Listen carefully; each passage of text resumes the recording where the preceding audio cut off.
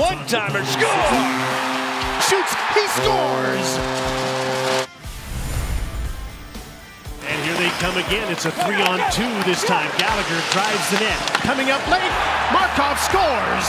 But Andrei Markov joined the rush, and it's 1-0 Montreal. Back the other way, Landeskog. Erik Johnson shoots, he scores!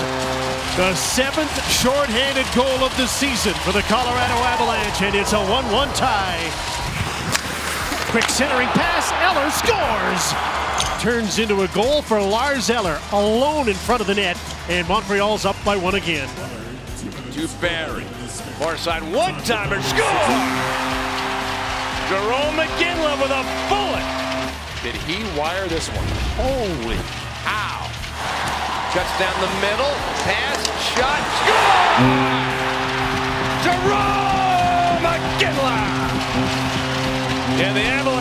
Just two minutes and three seconds to go, and the lead. Plays it over. Parise back to Suter. Slap shot. Scores! Knuckleball somehow found its way into the net. And the Wild lead 3 0. Up the boards to Gaudreau. Hard pass. Engelland scores! No better time than now for Deryk Engelland to get his first goal of the year. And the Flames are on the board. Nice tip pass there from Ferland to Stajan. And Jones with a wrister. They score! It bounces in off the head of Matt Dumba. And the Flames have cut the lead to one. This, has been the best line tonight for Minnesota. That shot blocked. Haula gets it again. They score.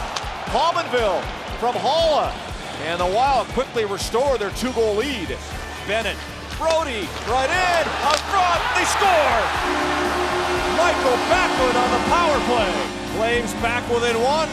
Parise over to Charlie Coyle with the empty net, and he scores. And that should seal it. And it's 5-3 Minnesota. Now Gustafsson to Panarin. Top of the left wing circle.